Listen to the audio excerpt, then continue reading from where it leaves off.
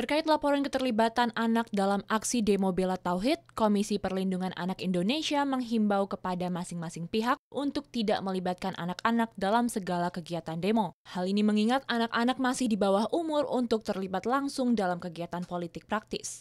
Melibatkan anak-anak dalam kampanye adalah salah satu hal yang diatur dalam Undang-Undang Pasal 15 dan Pasal 76H Undang-Undang Nomor 35 Tahun 2014 tentang perlindungan anak terhadap segala kegiatan yang berbau politik. Anggota Komisi 8 Aceh Hasan Syadzili menyampaikan keberatannya atas keterlibatan anak dalam aksi kampanye atau demo. Menurutnya masyarakat khususnya orang tua dapat lebih bijak dalam mengikuti kegiatan terutama yang berhubungan dengan politik praktis. Aksi-aksi apa pun, aksi demonstrasi, aksi politik, aksi keprihatinan sebaiknya tidak melibatkan anak. Oleh karena itu tentu kami sangat uh, mengecam ya bagi siapa pun bahwa apa yang dilakukannya itu adalah bagian dari uh, ya menurut saya melanggar undang-undang pelibatan anak-anak di dalam kegiatan-kegiatan yang bersifat uh, politik begitu.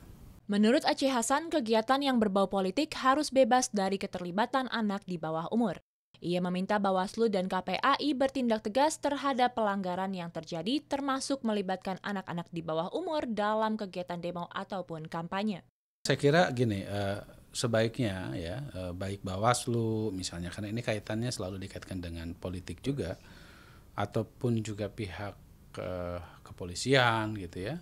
Kalau perlu memberikan uh, uh, penegakan hukum terhadap pihak-pihak yang melib memang melibatkan anak dan menjadikan anak sebagai tameng. Nadia dan Ridwan TVR Parlemen melaporkan.